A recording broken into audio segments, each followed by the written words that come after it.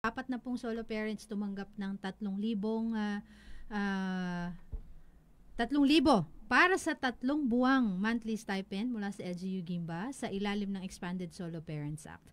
Apat na pong uh, solo parents ang tumanggap ng tig 3,000 Miyerkules ng umaga, September 11 dito sa Gimba. Mula yan sa lokal na pamahalaan uh, ng uh, Gimba sa ilalim ng Expanded uh, Solo Parents Welfare Act of 2022 o yung tinatawag na Republic Act 11861.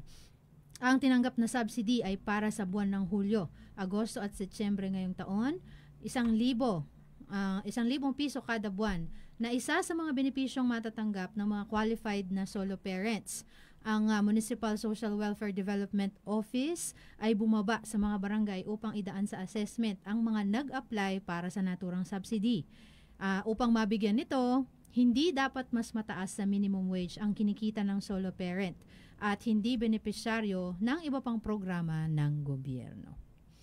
Ayan. So, uh, yung yung parehong 40 katao na yan, tatanggap din sila ng monthly stipend next uh, next month, uh, October, at saka yung uh, remaining months ng December, ay January, ay October, November, December. October, November, December. Oo. Uh, Kaya yung natanggap nilang 3,000, ay, sa, sa tatlong, third quarter oo, oo, ng uh, tatlong buwan yun, 2024. Oo. Mm. Uh, so, ito yung kauna-unahan yata ano, sa local na makapag, makapag uh, bigay ng, ano, ng uh, ayuda mm-hmm. sa mga solo parent. As far as ano budgeting, uh, parang uh, nag uh, nag-propose uh, si Ma'am Lala pa daw yung uh, nakaupo nun as uh, MSWDO na inabutan ni Ma'am uh, Clarice Uh, pero it's within the year daw yon ipinasok uh, dun sa budget mismo ng MSWDO.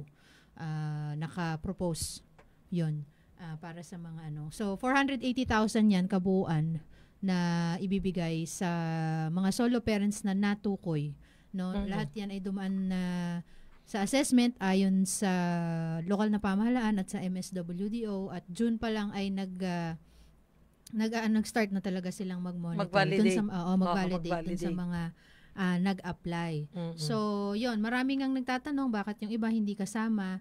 Basta uh, kayo po pwede pwede po kayong mag-apply at uh, itong 40 na to ay uh, uh, yun uh, po, yung sinasabi nga na poor poorest among, among the, the poor. poor. Oo.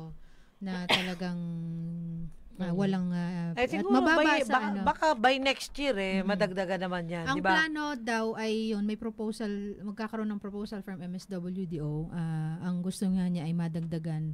Uh, mm-hmm. Gusto ng local na pamahalaan ay madagdagan yung uh, budget para mas dumami yung magiging ano Oo. yung uh, recipients. Ma- recipient, oh, beneficiaries. Beneficiaries. Oo. oo. Kasi kasi yung batas na yan na um, uh, suporta, financial assistance sa mga solo parent ay uh, national actually yan eh, yung batas Specific na yan eh. lang pala yan Tapos, sa ano. pa- pasa lang pala sa local. Oo. Yung sa LGU, benefit, benefit sa na yan, parent, oo. ay specific lang, itong mismong specific na to, yung 1,000 monthly subsidy, ay talagang sa LGU yan. Yes. Meron pang iba, may Pero, education, educational benefits pa, uh, na sa national, DepEd uh, yan, uh, CHED, at saka TESDA, na pwede nilang ma-avail.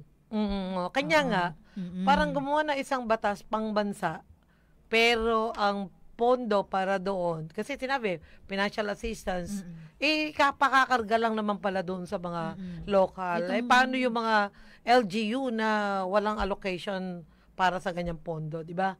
Yung Oo. maliit lang ang kanilang mm-hmm. ano, Meron yung kanilang GAA, maliit mm-hmm. lang yung kanilang uh, ira. Kaya tatamaan siguro kung bakit uh, ah, 40 lang din yan dahil yun lang talaga ang allocation. Yes. Yung, yun no, pinagkasya nga lang yung 480,000 pesos. Oo. Oh, yun. Ma- maintindihan naman natin sa ganun. Pero mm-hmm. dapat, eh, yung pagkakapili naman sa 40 na yan, talagang uh, na-screen nila, na-validate mm-hmm. ng ma- na mabuti at sinasabing uh, talagang yung qualified doon sa sinasabing uh, poorest among the poor. Kasi mm-hmm. doon lang naman lilitaw ang mga tanong at mga pagko-question kapag uh, may nakakalusot na hindi naman mm-hmm. karapat dapat o kaya naman eh, yung iba doon may trabaho at yung iba naman talaga wala. Mm-mm. Oh, pero meron pa rin karapat dapat sa mga hindi na nakasali, di ba? Mm-hmm. So, ganun. Kaya talagang uh, dahil konti, ay pagbutihin na lang yung uh, pagbabalidate ng Oo. mga beneficiaries. Mainam na rin na ano, na lahat Mm. mag-apply. Lahat ng Sora parents mag-apply po kayo kasi Mm. kung sino yung nag-apply, sila lang yun din yung binababaan eh. Oo, sila din yung Oo, binabalidate. Sila din yung Oo. binavalidate. Oo, kaya Mm. kailangan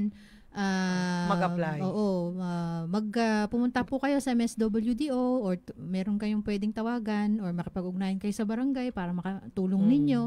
Um, igawan din po natin ng effort kasi may times na ano eh, na talagang hindi rin wala ding pagkakataon na lahat maikot eh. Sige. Oo. At saka may four piece para dyan eh. Mhm, mhm. Okay.